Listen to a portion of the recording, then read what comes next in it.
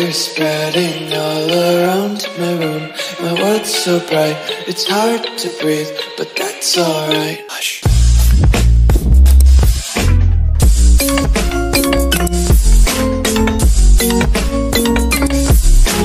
Welcome back mga spider.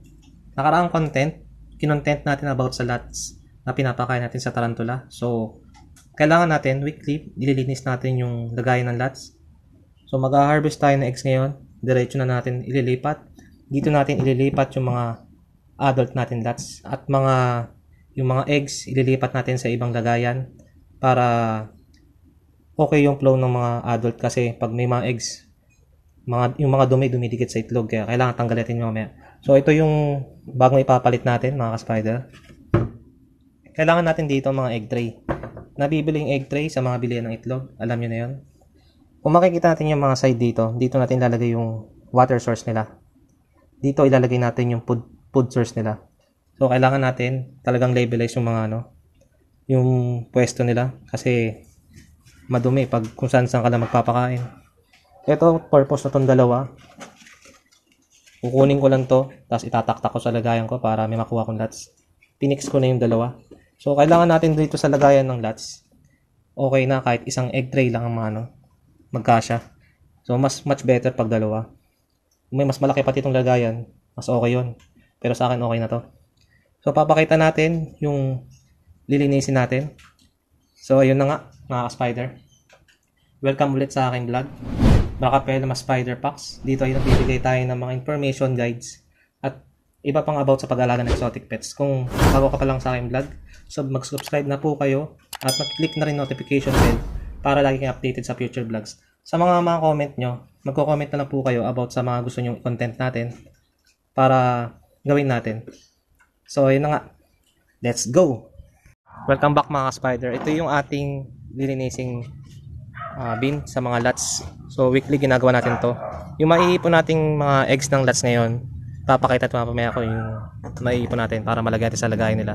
So yung mga malalaking lots na nasa ilalim, yan, i i-rehome natin sila doon sa bago nilang lagayan. Weekly ginagawa ko yon Weekly nag-aayos tayo para hindi marumi. Kasi sobrang dami nila, yung mga dumi nila nag-iipon dyan, masama sa itlog.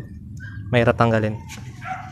So makikita natin yung mga itlog mga eggs na mga lots nakadikit lang tanggal natin isa-isa yan so natin dito yung mga malalaki yun kasi yung pinaka goal natin yung mga malalaki kasi ito yung pinapakain natin tsaka sila yung nanganganak so linisin natin to Sunday routine let's go many months later welcome back mga spider tapos na natin siya linisan tapos nilagay na natin dito yung adult na mga lots natin pero hindi siya lot adult meron po siyang large names tsaka small names. So, lahat naman yun magiging adult. Halinalis lang natin dito yung yung mga eggs. So, ito na siya.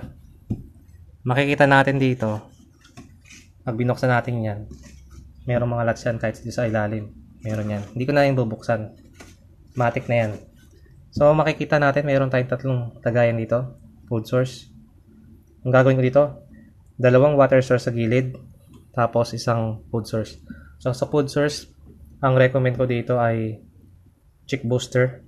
So ngayon mag-iiba tayo ng pagkain ngayon kasi meron kaming ano biskwit na hindi na ano hindi hindi nakain, expired na. So sayang naman ipakain na rin natin kasi hindi naman siya mamantika. Tapos maglalagay tayo dito dalawa water source. Bag gel ang gagamitin natin ngayon. Kung sa dati ay unang content natin, ginamit natin pampers, So ngayon bag gel tayo. Lagyan muna natin yung sinasabi kong biskuit na hindi nakain. So dapat dahan-dahan lang hindi siya matatapag sa ano kasi maglalagay tayo ng water source sa, sa gilid. Yan. Ubusin natin, sayang naman. Yan. Lalapitan niya ng mga nuts mamaya. So, tapos niyan, ito yung tinatawag na bag gel. Meron ito sa sa cups, meron naman sa ganito. Tingnan natin dito. Kapareho siya ng cases pag dinurog. So, pwede naman yung cases. Pwede rin naman to. Pero marami naman pwede siyang gamitan ng cotton, Basta nakakapag-absorb ng ano, water. Pwede yun. Kasi kailangan makasip-sip talaga mga lats. So, lalagyan natin sa gilid to. Kontian lang natin kasi hindi pwedeng mas marami. Kasi, pag merong natira dyan, at may nakapasok na fruit fly, ayan, dyan nagsisimula yung ano. Ayan. So, about dito sa lats, wala naman ditong technique. Technique dito, kailangan malinis ka lagi sa kanila. Tapos, kailangan may bench lagi to. May butas. So, yung atin wala pang bench, kaya nalagay tayo ng uwang kasi bukas mag-aayos tayo ng bench nila. Then, after nito, one week ulit, magkukulit ulit tayo ng mga eggs. So, ito yung eggs nila. Dito ko nilagay yung mga eggs nila. So, after 2 weeks, or may nakita tayong gumagalaw na dyan na newly hatch, lalagyan natin sa bin. Bin na maliit na ganito. So, ito yung itsura ng ano. Yan. Makikita natin, siguro nasa 100 pieces eggs. Eggs yan. So, weekly, ganyan lagi nakukuha natin. Kaya may lagi tayong newly hatch.